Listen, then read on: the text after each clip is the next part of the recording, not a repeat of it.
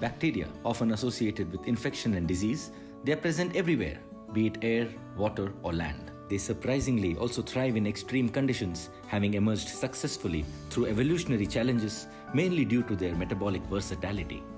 Bacterial electron transfer can either be direct, from the bacteria to the acceptor, or indirect, mediated by redox shuttles. The exploitation of this process for a variety of biotechnological applications underscores the importance of measuring the efficiency of bacterial electron transfer. In this context, we have devised a simple colorimetric method to measure the efficiency of bacterial electron transfer.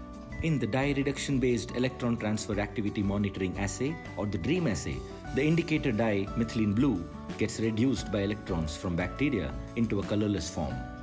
The extent and rate of color change in a fixed period of time directly serves as a measure of electron transfer efficiency.